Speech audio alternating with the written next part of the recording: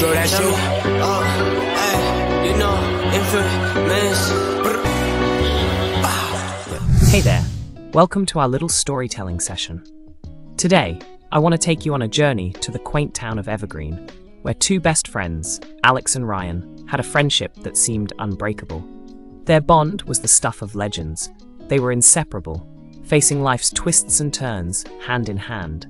Enter Blake, the smooth talker who wandered into Evergreen and sowed seeds of doubt in Alex's mind, like a sneaky little squirrel hiding nuts for the winter.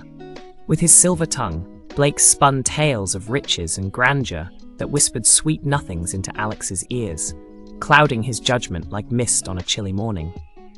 As Alex fell deeper into the allure of a tantalizing future away from the small town, he made a choice that shattered the very foundation of his friendship with Ryan.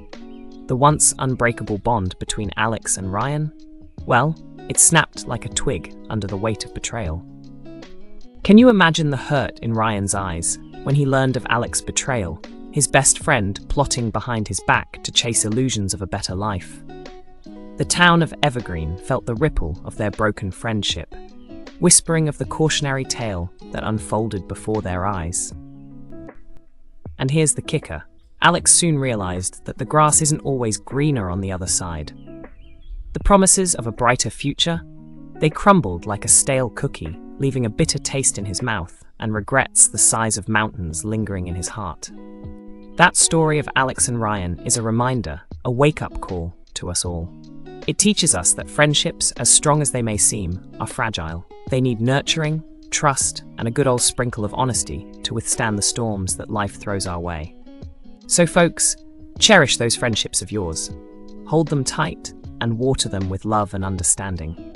Because when the winds of betrayal blow, let's hope your friendships stand tall like mighty oaks, unbreakable and unwavering.